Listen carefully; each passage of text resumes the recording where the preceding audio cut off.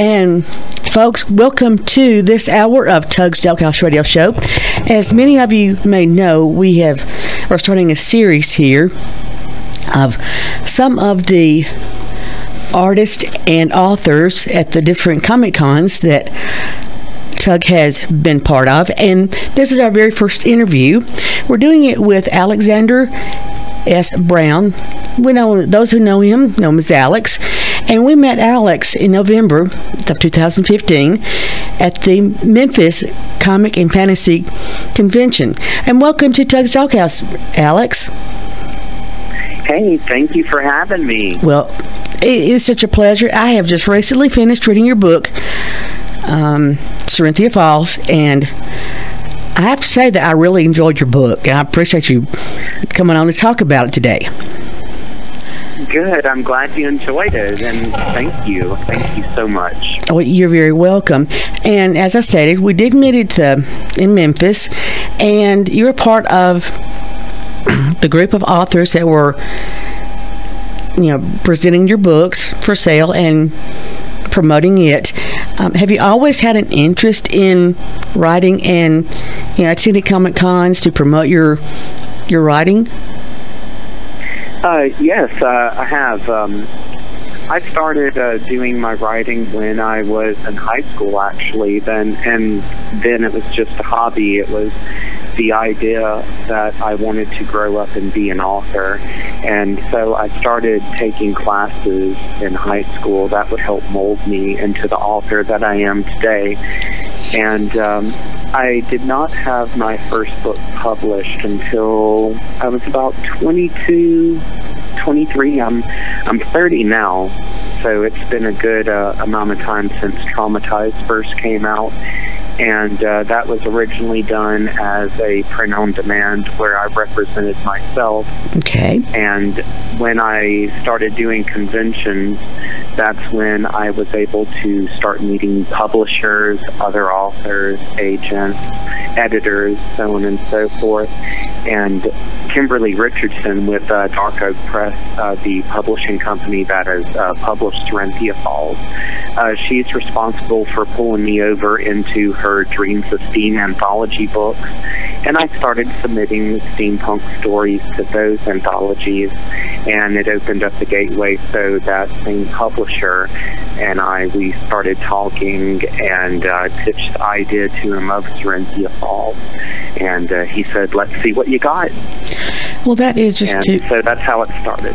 Well, that is just too cool. Now, to just let the listening audience know, Comic Cons are not just about Batman, Superman, the Avengers, and things like that.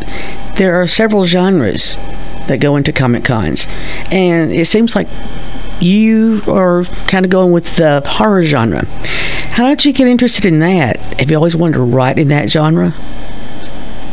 Uh, yeah, I have. I started reading horror at a very young age. I was uh, swooned into the genre by my grandfather when I was maybe five or six years old, and he introduced me to the original Night of the Living Dead, and that was when I discovered I loved horror.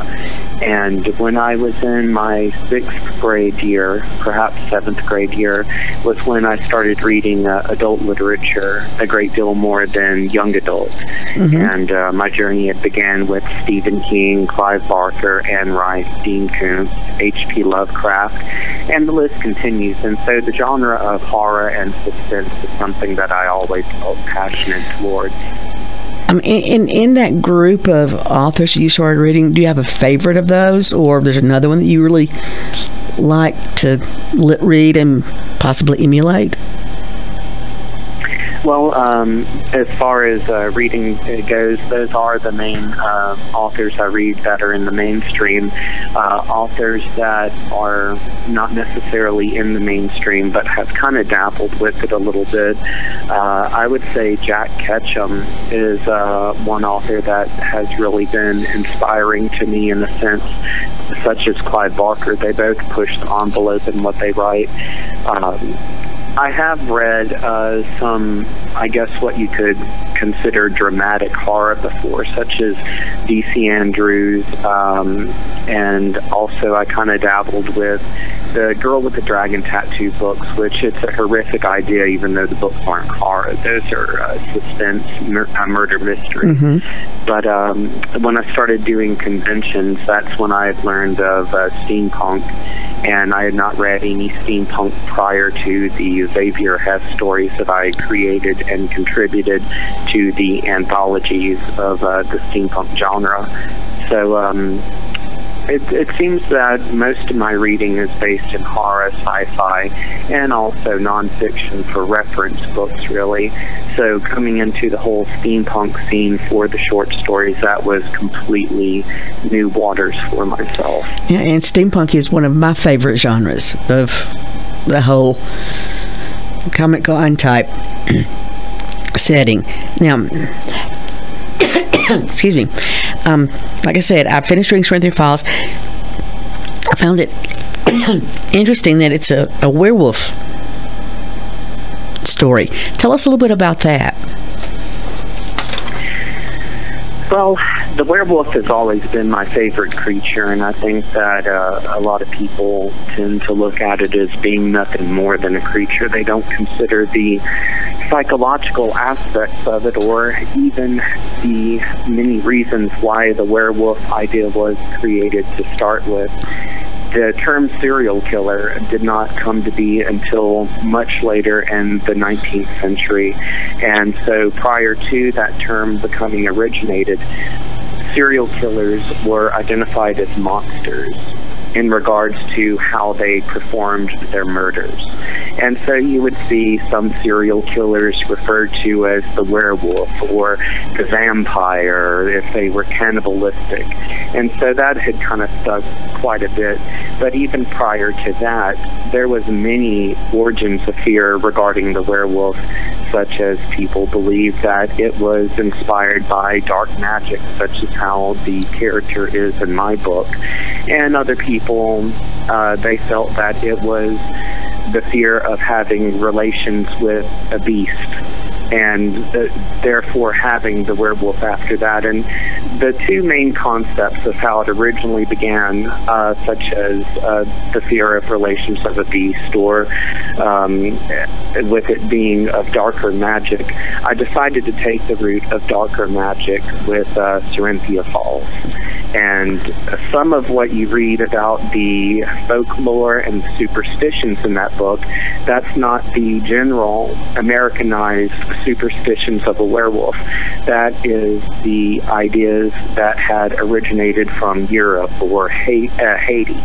And mm-hmm. so I already had that idea in mind that I wanted to create a story in regards to this creature, but I wanted it to be something a great deal more than just a horror book. So that's why I started adding elements into it that were I would say suspenseful, dramatic, and even some that are romantic. And when I was growing up and in high school, I was a friend of a large crowd of people. And amongst that crowd, I had friends who came from good homes and friends that came from broken homes. Mm-hmm. And so the character development that you see in that book is also what some of the things my friends suffered during high school were. And so this all just kind of came together. And at the same time, I thought, well, what a wonderful opportunity to tie the werewolf into this as more of a Dr. Jekyll, Mr. Hyde character, since it's really a personification of the inner beast inside us. Yeah, I, I, can, I can see that after you know, thinking back of all the different twists and turns that the storyline took. And what I liked about the story, your storyline, is that it's relatable. You know, there are a lot of communities that have their own set of legends of things that happen, and the people there are people that want to check out those legends. And like the teenagers in in your book, they, they wanted to find a couple of them wanted to find out others were i don't know. But you know it was just like everybody can relate to something like that. You know some were just yeah let's check out. Come on fearless and others like i don't know. But you know i noticed that Syrenthia, who was the main character and it's most of it is from her point of view is kind of nerdy and someone that got bullied. Um, is that why did you choose someone to be the main character as you know the the, the nerdy bullied one as opposed to somebody that was popular or one of the cool kids? Well, uh, I feel that people who are classified as nerds are always uh, highly underrated and they're underestimated. And uh, pretty much uh, growing up, I really loved the book Carrie by Stephen King, and I loved the movie American Werewolf in London, and I thought how wonderful would it be if these two elements came together. And so that was kind of the um, inspiration that I had that had already existed within um, entertainment. Now, I decided to make the lead character Syrenthia the nerdy bookworm because bullying is something that is seen quite a bit today, mm-hmm. and I think that sometimes it's swept under the rug a little too much, and so is child abuse because the book is focused on peer pressure, child abuse, bullying, neglect, so on and so forth. Mm-hmm. And with Syrenthia being the lead character, you have all of these elements not only in her life, but in the lives of people she cares about that's feeding into that ticking time bomb that she has inside of her.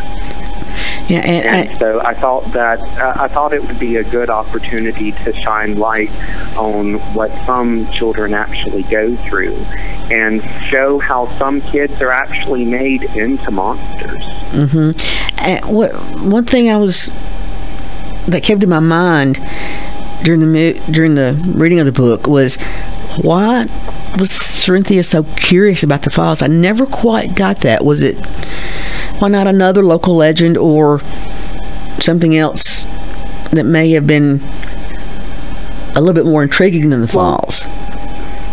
Well, I wanted people to see through the verbiage that she was interested in it, mostly because the other kids wanted to go, and also it kind of sounded mysterious when they brought it up.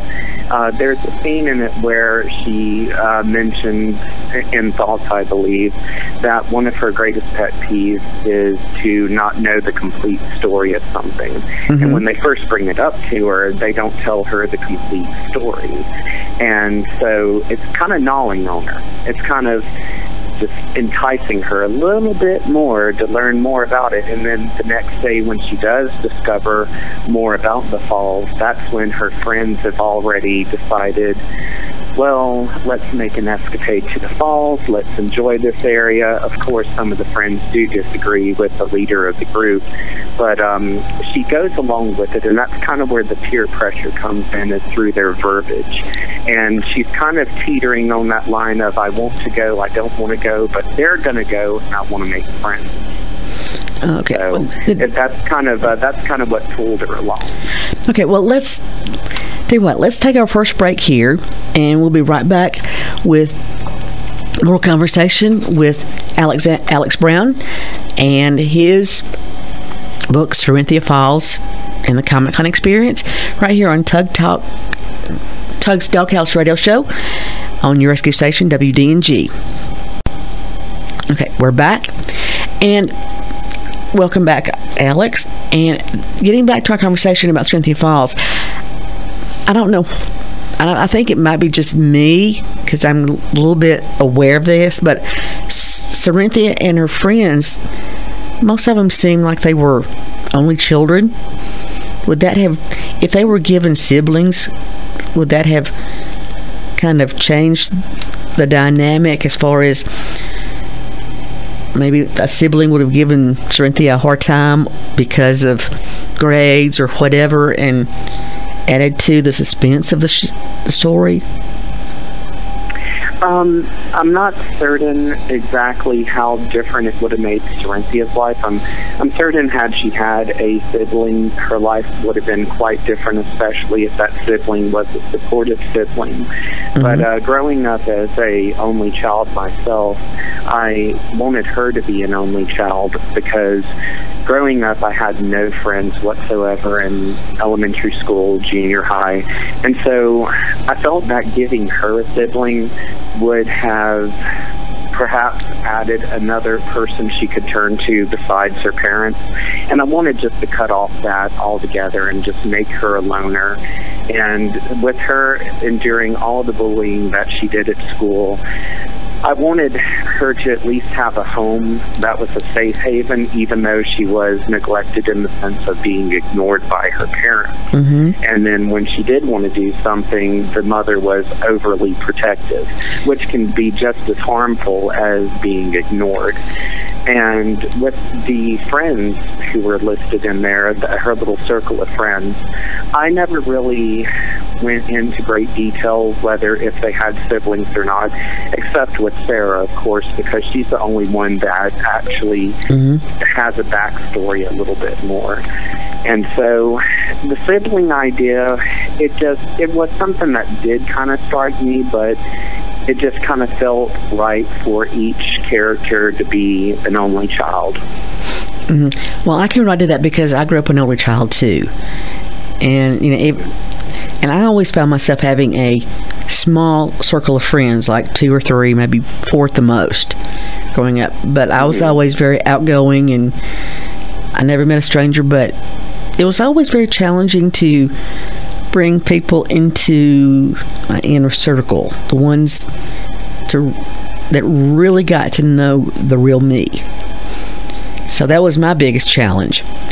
But hmm you know, I I, I like the way that the, the story flowed and the, the the end really surprised me. We don't want to give it away because we we would really like to have people want to purchase a copy of your book, but yeah, I think it's a it was it came along where to the point where people could relate to it to one degree or another, depending on your point of view. And I th- and that's what that's one thing I liked about the about your book. But um, this is kind of going a little, little bit different direction. Do you think that in the horror genre that some of it can become predictable? And do you think there's any way that a writer can come to a point where they're they can avoid that? Well, um, pretty much with the ending of the book, only that part has ended. There Mhm. is going to be a sequel. And so uh, it does become somewhat of an addiction for the author to be able to continue elaborating upon uh, a town or a series of people. Mhm. Where with this book, the sequel is going to take place in the same town. And that's the only thing that the two books have in common. Also, of course, with the little, little hidden Easter egg at the end of the book that um, I'm sure you picked out. But the second book picks up where you discover exactly what it was they saw that night as the book was ending. And so the sequel will pick up from there. And with with working on the series, it, it becomes a major addiction. And um, the sequel, I plan to have it at an older level. I plan to have it uh, where the characters are not young adults, but they are maybe in their late 20s, early 30s. And I want it to be focused on the dangers of spousal abuse. Okay, so the same characters at the end will be going into the second book, or will it be I'm sorry. Uh, the the, sorry, the, the, the characters that ended in Cynthia Falls? Will they be moving into the second book? Yes. Yes, uh, the second book will slightly pick up from the end of the first one, but it's going to pick up from the end of a different perspective. Okay, okay. And and so it's it's going to kind of be like, um, in a sense, how a comic strip does almost. You know how one when one chapter ends, it just kind of bleeds into another chapter, but from someone else's point of view, and it goes onto a different journey. That's how this is going to be. And with the with the name Cynthia Falls is did you name in the book because of Syrenthia's fascination with the falls? Because that wasn't the name of the fa- the falls in the beginning of the book. Yes, um, pretty much. Uh, uh, the name was something I had tons of fun with, and it's also very symbolic because you have a character named Syrenthia, and then you have the falls in the book as the little waterfall where they go and enjoy themselves. And I wanted people to not take the title so literally, but have it more so in the sense that it is her going through the downward spiral. It is her falling. It is her humanity that is falling. Okay, now I get. I'm thinking. Okay, I kept. I guess I kept putting a literal thought of, you know, do they change the name of the files later on? and I was really fascinated that I can't help but wonder that the creature that was at the very scene, the eyes that were seen at the very end. I wondered if you know you have you have questions like, is that who I think think it is? Is that going to be a part of what I'm guessing it might be? You know, you, you it all well. That's really good quality of a book to where when it ends, you have questions at the end. Like, I wonder what's going to happen next. And, uh, and that that will be answered in the sequel. That's not going to be just left alone. It will be addressed. And I will say this much, and I'm not going to give away any spoilers, but with what you witnessed at the end of the book, with the eyes in the woods, it picks up from the eyes in the sequel, and it is not a werewolf. Oh. It is something else in that same town. Okay. Well, yeah, I. I, I had never experienced, I had never read much about the transformation of a person that gets tainted with werewolf blood, so to speak, and the transformation of a, of a person. But with the way that Syrenthia went through her transition, really fascinated me, and it, I did pick up that inward struggle she had with within herself. You know, hearing that the voice like, "Go ahead, you know, do it, do it," and the, the and the conflict between her and her parents and Sarah and the way that she wanted to get revenge, but it kind of came back and slapped her in the face, so to speak. Well, thank you. Uh, with her transformation, I wanted it to really focus on how her internal conflict was becoming more visible on the outside. Mm-hmm. And so that's why you, you'll see that her changing is over a period of time, and also um, it's as brutal as what it is. It's pushing out the old and giving the new. It's letting the evil out. And you know, with her being a teenager, getting you know, finishing up her high school years and preparing to go to college, there's always a lot of changes that go on in in the life of a teenager. And it seemed like with the changes she was going through, with, with the werewolf, just kind of amplified those changes that you know, teenagers yeah, experience. Yeah, and uh, and it, and it is somewhat of a, a, a swan song for her. It is intended to be somewhat of a swan song, and that's where you also see the struggle with. Um, her wanting to lose her virginity and then conflicted last minute of no i want to save this for the right person for these reasons which the reasons are just as twisted as anything else in the book yeah yeah, I can, I can, I can appreciate that. Well, let's go ahead and take our second break for this hour, and we'll be back after these messages, so we can pay pay some bills with these commercials right here on Tugs Talk House Radio Show on WDNG. Okay, folks, we're back talking to Alex Alex Brown, who is one of the Comic Con participants that Miss Fee and I met when we went to the um, Memphis and fantasy Memphis Comic and Fantasy Convention. Um, was the convention in Memphis one of your one of your first Comic Cons, or have you are you a Comic Con regular? In attendance? Uh, well, uh, I'm a Comic Con regular, but I also do try to support local libraries because libraries are in dire need of help not only from their patrons but from authors trying to liven them back up. Uh, Comic Cons are something that I've been doing for the last five years, and the first large one that I ever attended was Memphis Mid South Con, and uh, that was held at the same establishment as MCFC known as uh, Memphis Comic and Fantasy Convention.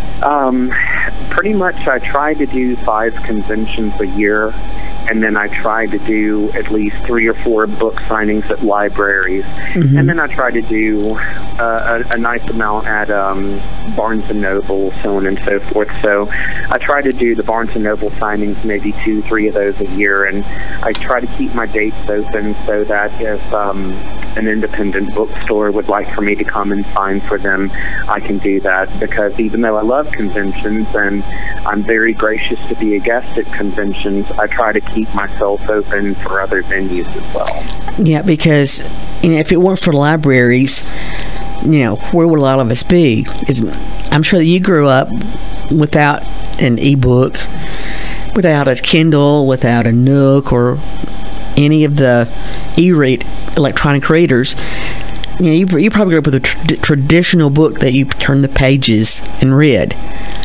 And yes. I, I have an aspiration to, to write. I've got a book written at home that I just have to do some, you know, corrections on and some edits, and you know, put it to print. But I just haven't done that yet. So I can appreciate the wanting to give back to what libraries and bookstores have given to us as far as being able to travel all over the world by sitting on the living room couch or you know at your favorite bookstore cafe or wherever you may be so the giving back part i can appreciate and wanting to support your local library I give you a pat on the back, my dear friend, because I really appreciate that. The libraries are the backbone of what books are all about and reading is all about. But um, well, thank you. And uh, and the thing is, we have so many fresh, young, beautiful minds not only in Mississippi but surrounding states as well. You have so many smaller towns where young adults have an interest in perhaps writing this subject or painting this subject, and it's not in the mainstream of what that area is. And what I hope to do is, especially for my hometown, is to show people who are up and coming it is possible to write horror and to create this while living in a town that is so saturated with Civil War history, and mm-hmm. we do have quite a bit of haunted history here too. So, you know, that's kind of starting to catch on a little bit. It's starting to become a little more spooky, which I'm happy about that. Oh yeah, I, I can appreciate haunted history. One of my favorite cities is Savannah, Georgia, who has a lot of haunted history. I'm, I'm, ju- I'm just kind of strange that way a little bit because I, I, I, like finding out what's about the different haunted places around town, haunted haunts, so to speak. But you mentioned that you like like steampunk. What what is it about steampunk that you really like writing about and reading about? Oh, reading about it, just the creativity. Uh, I love the idea of steampunk weaponry, uh, tools, so on and so forth, but the fashion of it, the fashion is completely desirable. And when I started writing steampunk, that those are some elements that drew me into writing more of it. And I dub myself as a horror author above anything. And so when I was writing steampunk, I thought to myself, well, you know, I could create murder mystery, and that's still kind of teetering on the horror side of things. And um, what really pulled me over into it was not only the subject matter of having a murder mystery, but also being able to elaborate upon the clothing. And it gives you the opportunity to create any sort of device that you could dream up and it be ran on Steam. Now, you don't have to get the mechanics perfect to the devices that you create because it's a device that never existed. And there's a very good chance it's a device that's never going to exist. And so you don't have to be so technical with it, and it gives you more room to play. And so that's uh, that's one thing that I find really fun about writing is with the steampunk genre, just throw it out there and give a good reason for it, and create your own tools, create your own monstrosities with the subject, mm-hmm. and just introduce the readers to something new. Well, the one thing about steampunk that I like is the time travel aspect. You know, you can be living in the 23rd or 24th century and go back to the late 1800s, early 1900s, and take care of a, a murder mystery there, and then hit another, you know, period in time. That's what fascinates me. Plus, you can bring in different different types of variations on dragons and other animals. And like you said the the mechanics. You can make up your own funky crazy little animal for what it's worth. Exactly. So i mean there, exactly. there's some of the most oh i'm sorry. That, that's okay. Go ahead. All right. Um, some of the most fun i've had um, writing steampunk has been in a collection of short stories um, published by Dark Oak Press. It's an anthology, actually. It's called Capes and Clockworks. And uh, this is a collection of short stories focused on superheroes with a steampunk twist. And I've always wanted to write a story about superheroes, and it, still does have my dark side to it, but uh, it's more um, uplifting it's uh, I guess you could say it's the flip side of the coin from the other pieces I've written, and um, that was really a great opportunity to have the chance to create my first superhero story while paying homage to the steampunk genre. Mm-hmm. Well, I hats off to you because that that's an area that I would like to try writing in writing in, but I'm not sure if I'm quite ready for it. But I know I'll eventually want to get to get towards steampunk. Maybe if I just give it a whirl, I'll manage to make it make write some little short story or something in steampunk. But do you have? Any, are there any comic cons you're going to be attending anywhere in the near future or distant future? Uh, yes, uh, there is actually. Um, well, I do have a few book signings here in town uh, in Vicksburg, Mississippi, and uh, those will be in, let's see, February. February the 13th at Lorelei Books and February 27th at the Vicksburg Public Library. Um, conventions that I have coming up, I know that I'm set for River City, um, and that is located in Little Rock, Arkansas. It's going to be in June. That'll be around the beginning of June, and at the end of June, I will be in Sulphur, Louisiana for BayouCon.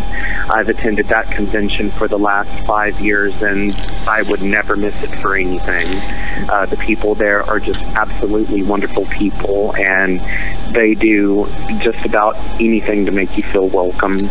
Uh, Imaginarium, which will be up in Louisville, Kentucky in October, will be another convention I'm a guest at.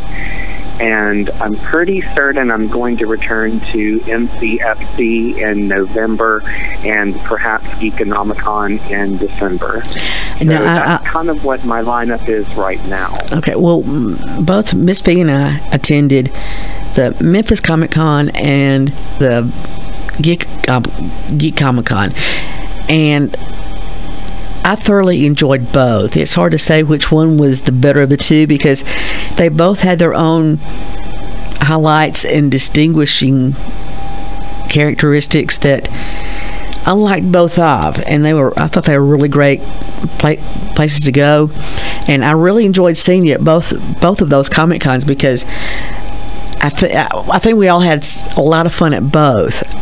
But of course, I don't know if you if it happened to you, but Miss V got me arrested at the Geek Comic Comic Comic Con in Biloxi, and so I had to pay her back. But Yes, uh, there was there was rumor of an arrest that was going to happen to me, and I was able to d- dodge that bullet. I don't know how. Um, I did have to leave somewhat early on Sunday because uh, of the bad weather that was coming in, and I needed to return home before that hit, and uh, I had uh, quite a few obligations I had to take care of there. So it was a rush on Sunday to get back to my home base. So it could have easily been that you know they were looking to arrest me on Sunday, but I had already skedaddled out of there. Well, what was really fascinating about when I got arrested was the fact that the gentleman who arrested me said it took me 45 minutes to find you. I thought, well, okay, that must have been when I went and took a coke coke break. Went and bought me a something to drink and decided to sit down and rest my weary feet. But one thing I I think that was a fantastic idea. They had to arrest people at the con uh, to raise money for their charity. That was that was a really fun Mm. Mm-hmm. And I- idea. I think it was the, the the charity they were working for is the USO to help them out, and five dollars a pop. That is that was the way to go. But we're getting close to the end of our interview, and if anybody is interested in finding out more about Alexander Stephen Brown and what you're all about, any suggestions of where they need to start?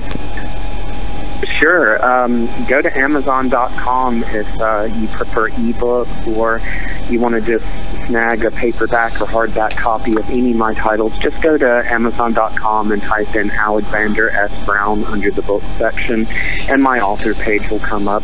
But I really do prefer speaking with people and getting to know people, so don't be afraid to send me over a request on Facebook, Twitter, Instagram, any of those, because I do love meeting new people and speaking with new readers. And I always do keep a stock of my books on me, so if someone would like to order a signed copy, that would also be available. So uh, I invite anyone and everyone to go into Facebook, Twitter, Instagram, type in Alexander S. Brown, and you'll see me pop up. Well, that is excellent. And Alex, I really appreciate you taking the time today to talk to me and discussing your book, Syrenthia Falls. And I wish you the best of luck in your writing career. And well, I'll next time I talk to you, I'll see you on Facebook. How about that? Sounds great, and thank you for having me. It's always such a pleasure to speak with you. Well, same here. And you have a great day. And folks out in Radio Land here in Anniston, we'll see you next week on Tugs Doghouse Radio Show right here on your rescue station, WDNG.